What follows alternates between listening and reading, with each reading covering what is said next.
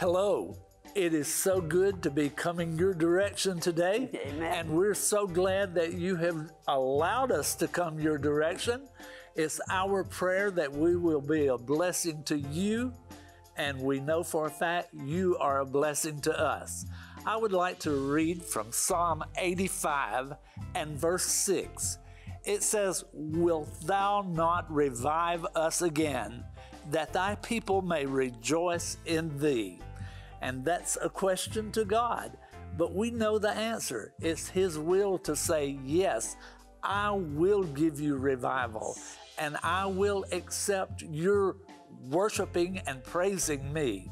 Faye, pray for us, please. Father God, we come to you now with open hearts, Lord, giving you praise and honor and glory for who you are. Thank you for all of your blessings. Thank you for your goodness, your grace, and your mercy. And we just ask you, Lord, that you would anoint each one that's listening today, that they would receive this word, take it unto themselves, and live it and enjoy it. In Jesus' name, amen. Amen and amen. Well, we hope that everything is going great for you. And as you pray and worship God, it's going to get even better as the day goes on. You know, God is so good, and if we just believe in Him and put our faith and trust in Him, there is no limit as to what God will do for us. So I'm willing to let God do all He wants to do, and I'm sure you agree with that. That you want the biggest and the best blessings that God can give you. And it's His will to do exactly that. But you need to ask Him and then believe, and you will receive. Amen. Welcome to Revelation of the Word with host Dr. and Mrs. M. E. Neal.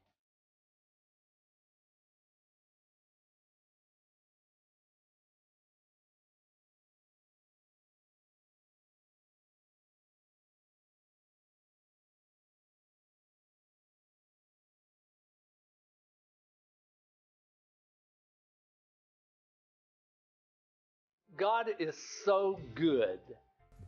He blesses us, He watches over us, He helps us. And Miss Faye has a testimony that she would like to share with you. Well, as Marvin said, God is good and He answers prayer. And a few weeks ago, I came down with this dreaded, horrible COVID 19. Very sick, but God undertook. I, being a sharing person, I shared it with Marvin and our son. And so we all three were quarantined for some time. But with God's grace and His mercy, we came through this. And at our age, everybody said, oh, they're going to die. But no, God said, no, I'm not through with them yet.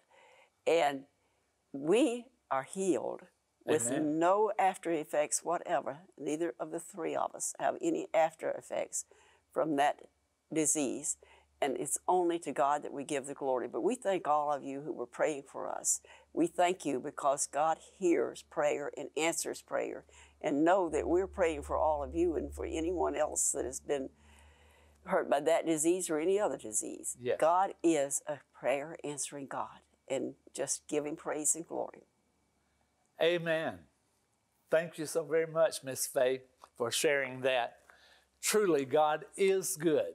Now then, I want to always give a quick review at the beginning of my message so that you can sort of make a connection with the previous program. I know you watched last week's program, so it'll be easy for you to just get the connection between what was talked about last week and what's being talked about this week. But just for review's sake, just in case you may have forgotten something, I want to remind you that over the past many, many weeks, I have given you information about the fact that we are living in the last days.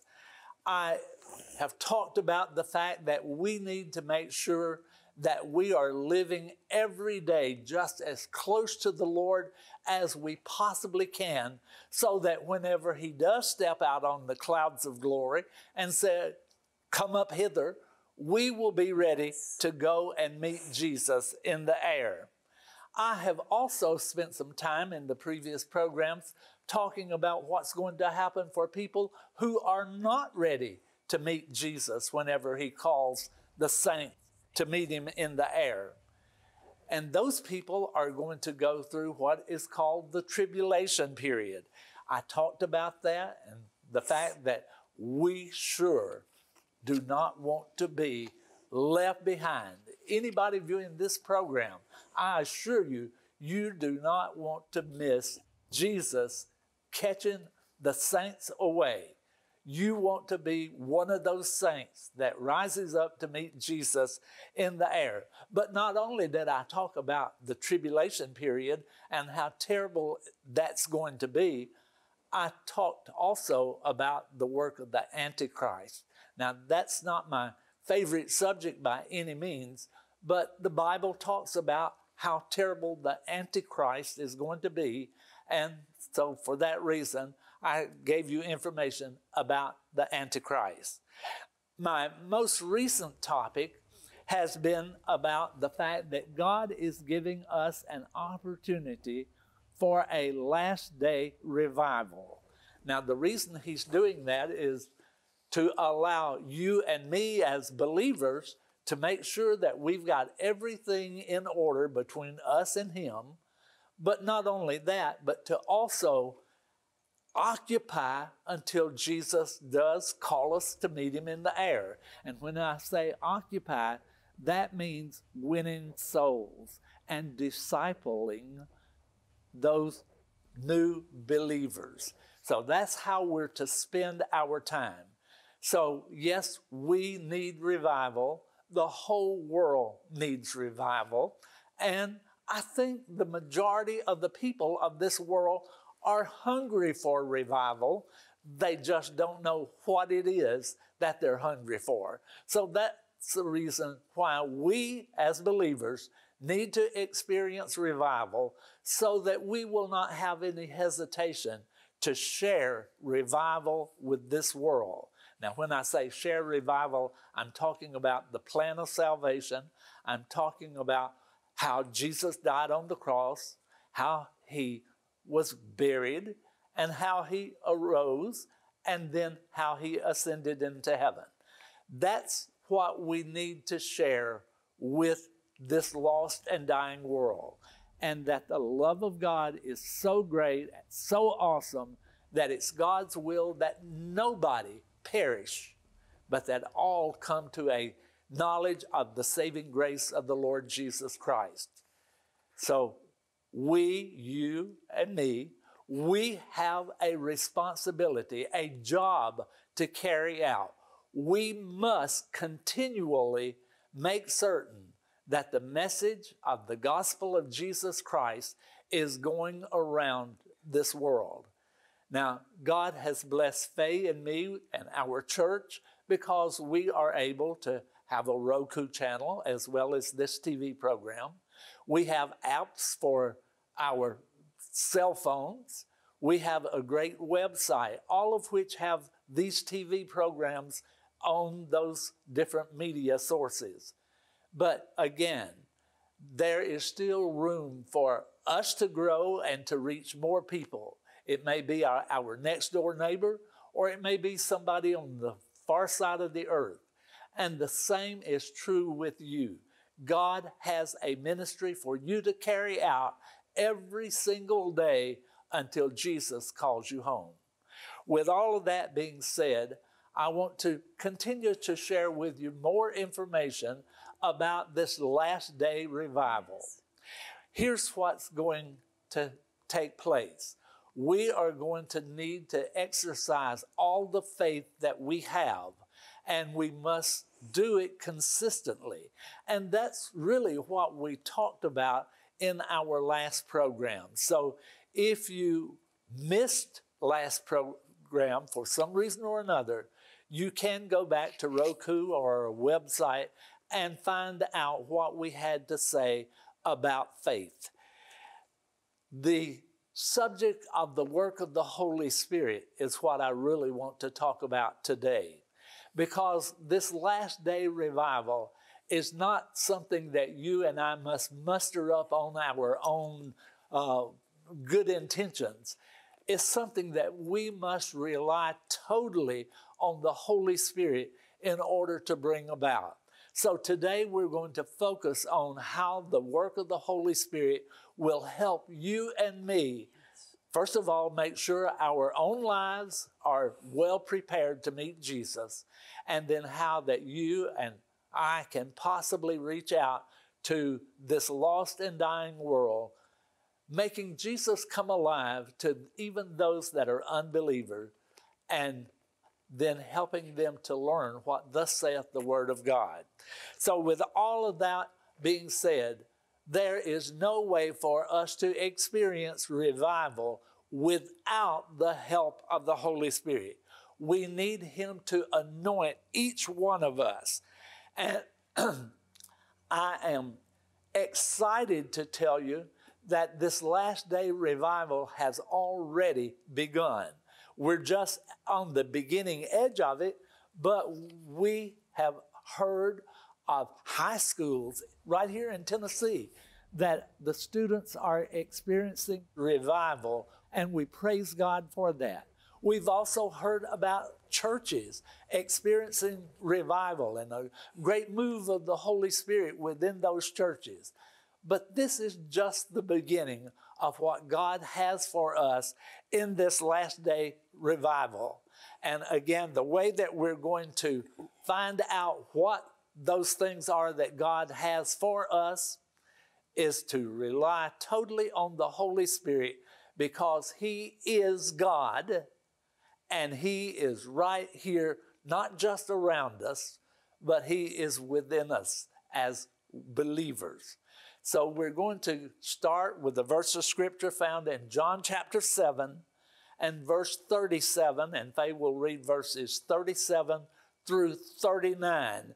And remember, this is a message that Jesus Himself delivered right on the last day of the Feast of Tabernacles before His crucifixion. Miss Faith? John chapter 7, beginning with verse 37. In the last day, that great day of the feast, Jesus stood and cried, saying, If any man thirst, let him come unto me and drink. And he that believeth on me, as the scripture has said, out of his belly shall flow rivers of living water. But this spake he of the Spirit, which they that believe on him should receive. For the Holy Ghost was not yet given, because that Jesus was not yet glorified. All right, get the picture. Jesus delivered this message prior to his crucifixion, thus, definitely before his glorification. But he says that he was talking about the Holy Spirit, the third person of the Godhead. And he plainly says, they that believe on him should receive. Those of us who believe on Jesus Christ should also believe in the work of the Holy Spirit, yes. knowing that the work of the Holy Spirit is the thing, if that's the right word to use, that is going to bring about the fullness of this last day revival that we're talking about. But again, Jesus delivered this at a time that he was still here on earth. And at that point in time, he was the teacher, he was the guide, he was the one that was helping people learn about God the Father and God the Holy Spirit. But now the Holy Spirit has come. Faye, let's continue reading in John chapter 14, please, verses 16 through 18. John chapter 14, beginning verse 16. And I will pray the Father, and he shall give you another comforter, that he may abide with you forever, even the Spirit of truth, whom the world cannot receive, because it seeth him not, neither knoweth him. But you know him, for he dwelleth with you, and shall be in you. I will not leave you comfortless, I will come to you. So again, Jesus is doing the talking in these verses. And he, as we well know, prayed to the Heavenly Father just almost constantly. And we know that he heard the voice of the Father. He knew perfectly what the will of the Father was for him and for us.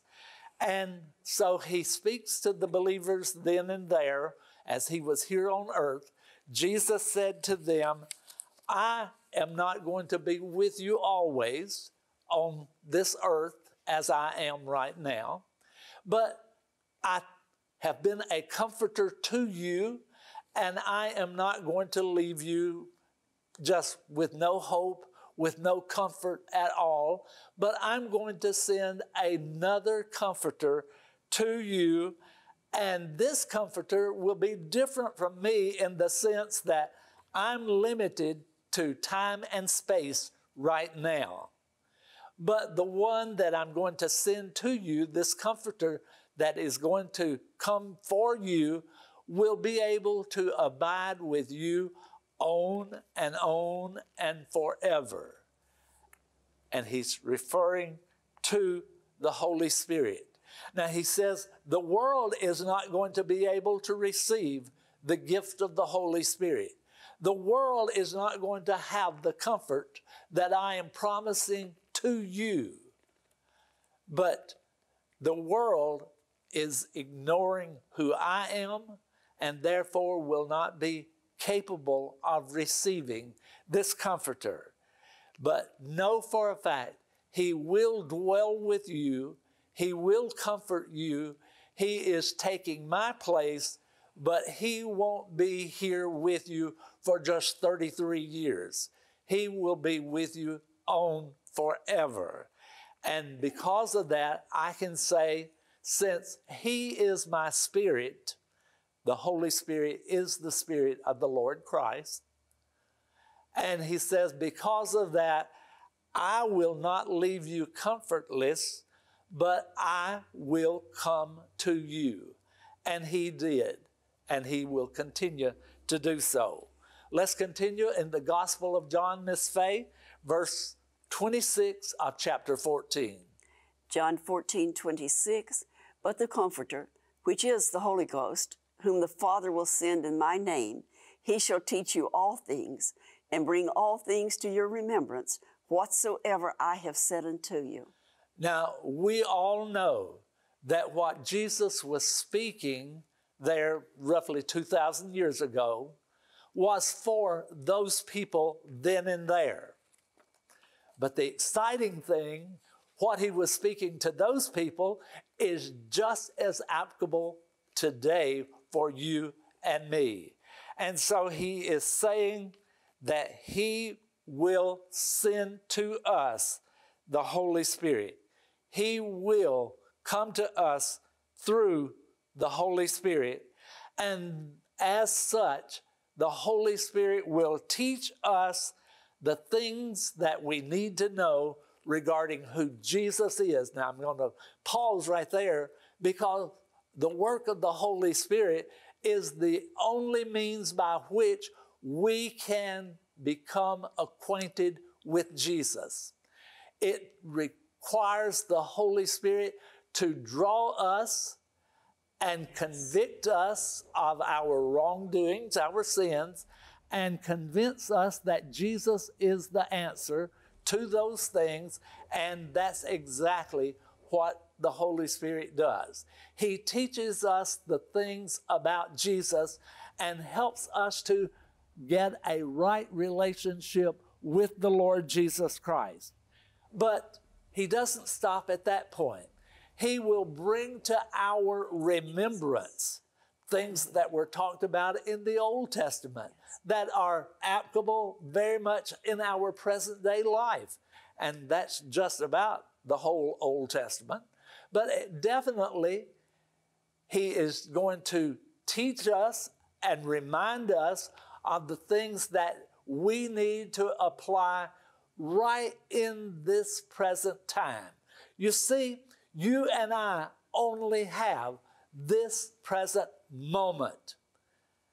And now we don't have that moment, but we've got another moment.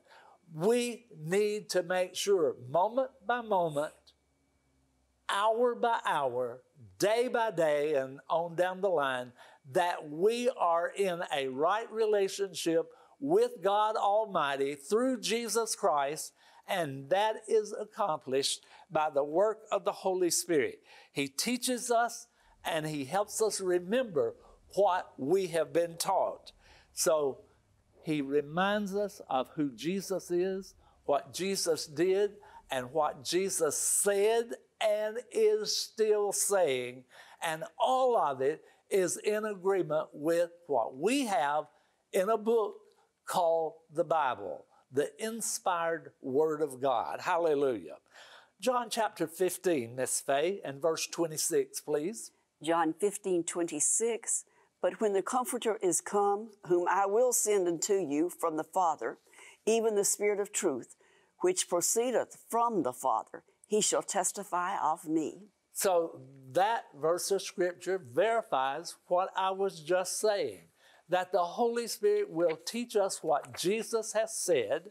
He will help us establish that right relationship with Jesus because the Holy Spirit will tell us all about the ministry of Jesus, all about the crucifixion of Jesus, all about the death of Jesus, the burial of Jesus. The Holy Spirit will help us know that Jesus is now in a risen form and glorified. And the Holy Spirit won't tell us the day nor the hour that Jesus is going to return, but He does tell us that we are living in the last of the last days. So we can't pinpoint a specific time on the calendar. This is when Jesus is going to return. But based on what the Holy Spirit places within our hearts through the Word of God, we can know time is short as far as the life of the saints here on this earth because we're going to find that the dead in Christ are going to be caught up, and instantly we who are alive and remain are going to be caught up right behind them, and we're going to ascend into heaven. Some will have been dead maybe for hundreds of years. Others of us will still be alive, walking around, occupying until Jesus comes. But at that split second, in the moment, in the twinkling of an eye, everything will change for those who are dead and for those of us who are believers and are alive. We will be caught up to meet Jesus in the air and we will ascend on into heaven with Jesus. Now, again, the reason we are able to talk about this is because Jesus did send the Holy Spirit back, and we'll continue next week with more information about that.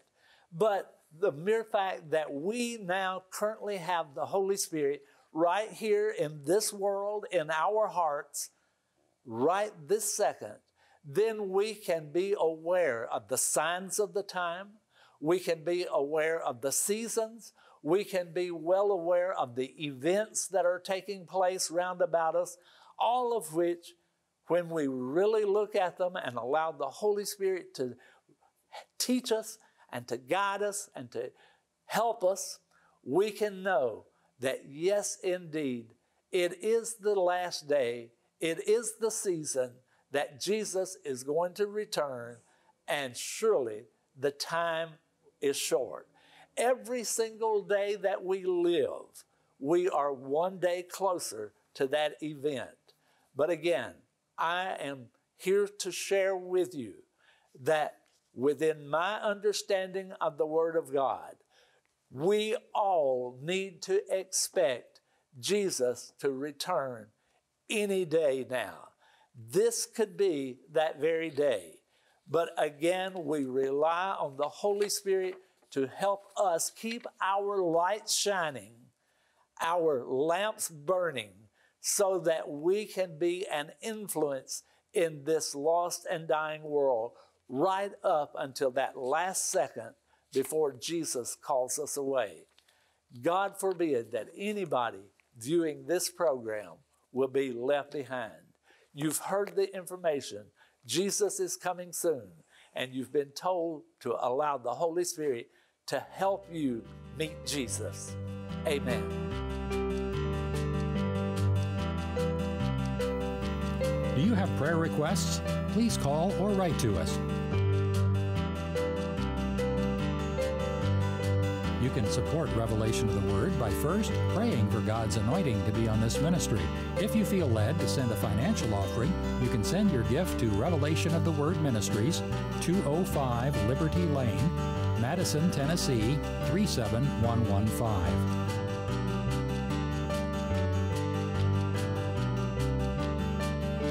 Everyone is invited to visit Revelation of the Word Church. Call, email, or write the Neals for more information.